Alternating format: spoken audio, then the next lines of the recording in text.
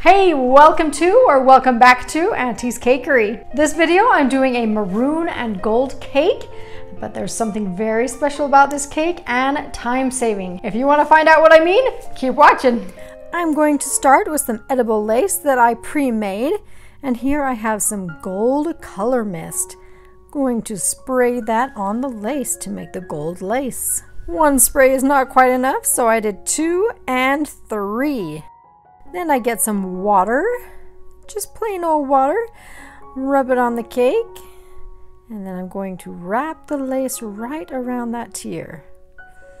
Get it to stick slightly. Get my little steamer, steam that lace. It softens it up so I can help it stick to the cake even better. Get that second one to match up right there, stretch it around.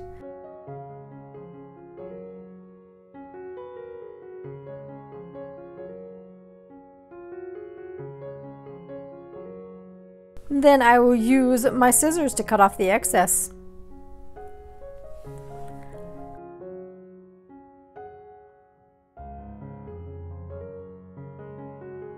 In a different really popular video that I did, I made this rosette design on a cake, but I did each ruffle separately and individually and wrapped it. Like that tier only was about six to eight hours to do. It was really, really time consuming. And then Marvelous Molds came up with this ruffle rose mold. Now I'm going to show you how easy and quick it is to make this beautiful, beautiful design. I've colored some maroon fondant, rolling it out. You'll see I'm rolling it out to the thickness of the inside of that mold.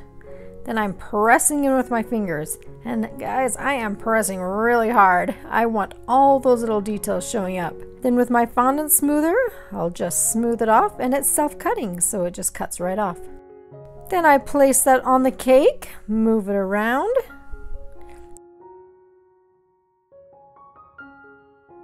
The second panel I'll squish up next to that as close as I can get it.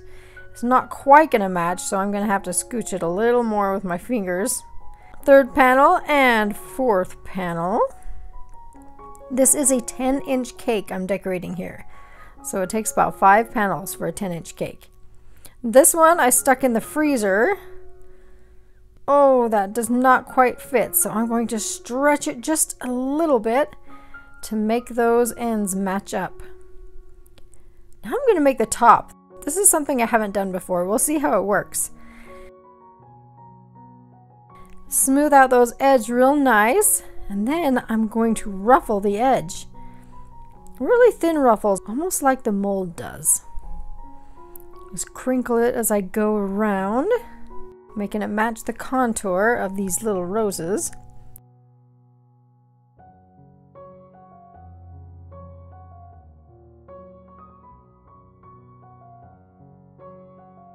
I'll smooth the top.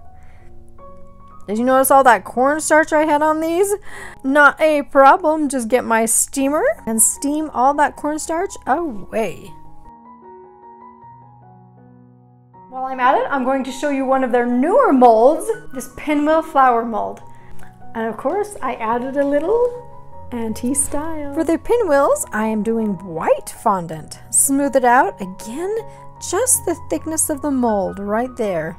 Add some cornstarch so it comes out more easily.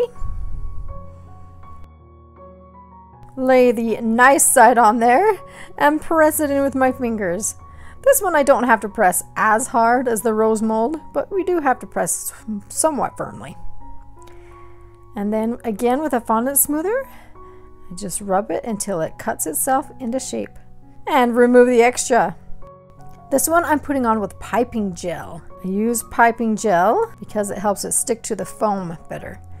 If you're sticking it just to a buttercream, I think plain water will be just fine. The one good thing about this mold, it is six inches tall. So if you have a six inch tall cake, this will fit it perfectly. For this video, I am doing a four inch cake, so I'm going to be cutting off the extra. Oh, look how beautifully that fits together.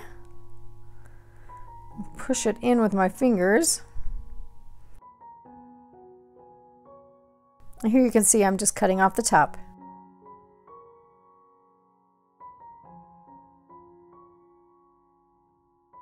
Ta-da! And the last panel going on. Oh, it didn't quite fit. I gotta squeeze it and mold it and make that fit there. And again, I have to stretch the edges here just a bit. And cut off that last piece. I also made another panel and put it on top.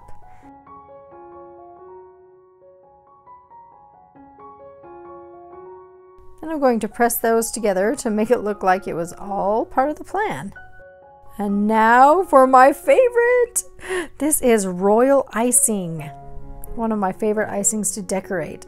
I've colored it maroon. I'm going to pipe a little snake-like shape and then taking a damp paintbrush, I'm going to take that icing and pull it inward. This technique is called brush embroidery. And I'm going to do that on a few of the flowers poking out here. Again, thank you so much to Marvelous Molds for sending me these beautiful molds.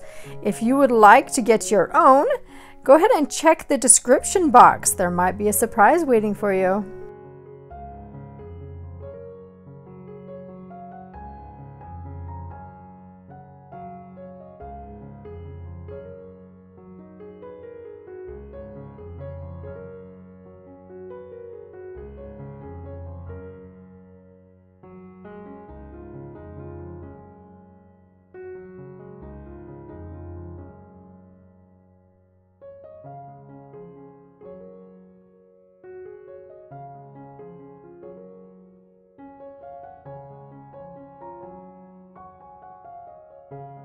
And after I've got all the outside petals embroidered, I'm going to make a little flower on the inside and embroider it as well.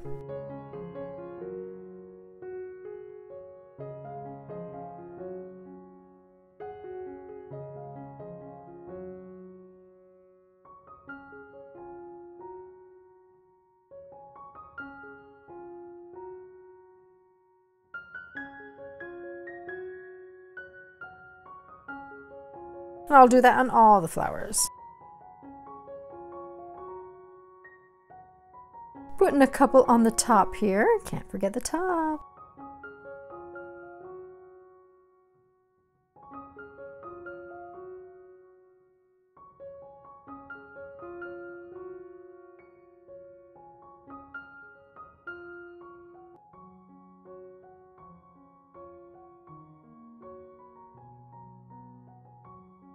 And last one. Put a little center on there. We'll move on to the next step. Yes, gold! I have a little Wilton petal dust here of gold. I've mixed it with a little bit of alcohol. You can use lemon extract, it smells so good. Dip my sponge in a little bit, and then I'm going to place some gold on these rosettes, just in random places.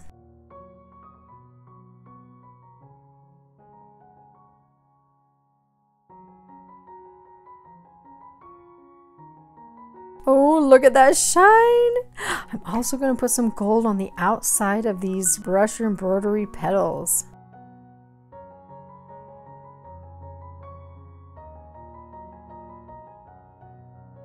And on the center too.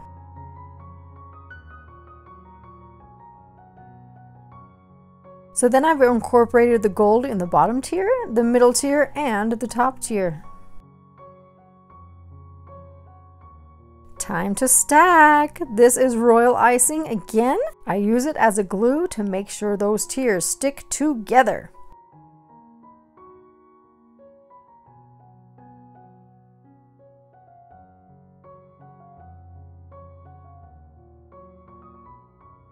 And at the bottom of the 6 inch tier, I'll add a little pearl border.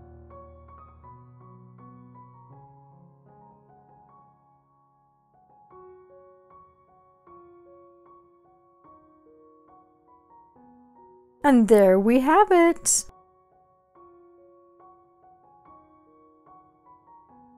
Thank you so much for watching this video to the end. I appreciate you all. Second, hit that super thanks button and donate to my channel so I can keep doing this. And if you don't have a donation to give right now, a subscribe or a like will help me immensely. It will help my videos get shown more often. So if you could help me out that way, I will continue to help you out by posting more videos of me decorating cakes. Bye! creak, creak. I know, our floor squeaks. My husband was helping me with the camera work.